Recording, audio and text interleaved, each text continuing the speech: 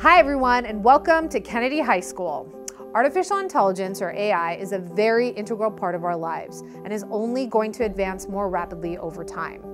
AI is said to displace hundreds of millions of workers, so we as educators and educational leaders really need to think about how AI impacts the world we live in now and in the future.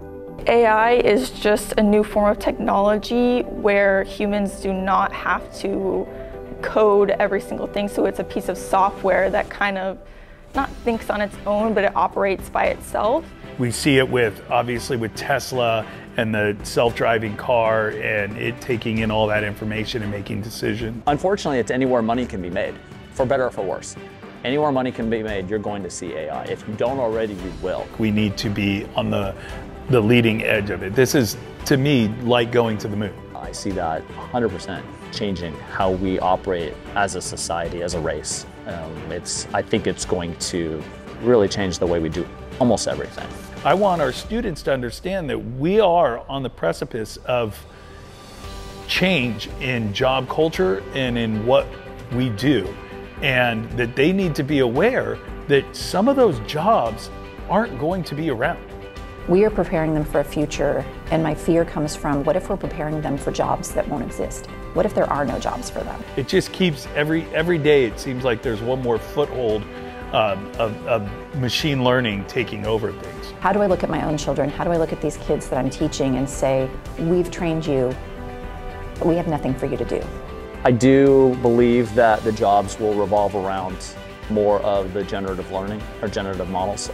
And they need to put themselves in a position and recognize that they want to start to look at what they want to do and could AI take it over? And then maybe that's not the job for them.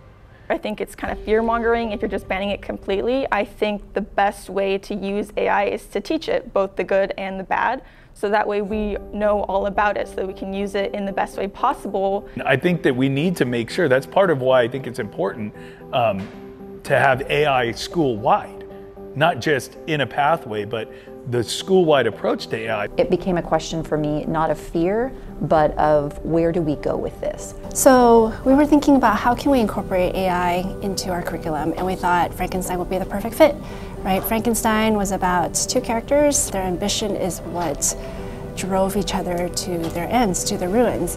And um, it's kind of like what we are facing with science and technology today. You know, if we don't learn to control that ambition, we're going to allow AI to control us. In the Living Earth, this is our first year really exploring with using AI images in our class, uh, as well as ChatGPT. The students are thinking about their communities through community walks, and then they're taking the pictures that they've taken from their community walks and they're bridging them together with the visualiz with the AI visualization and they're thinking about their futures like what will this community look like and what is the impact that I have on my community and what can we do to mitigate these future issues. We're trying to give them this overall idea so that when they get out into the workforce or get moving towards it, they can pick a, a lane or a way to go and be successful. I absolutely see as an opportunity. I, I, think that these generative large language model AI systems that have come out are going to be game changers. They already are game changers. And for me as a professional,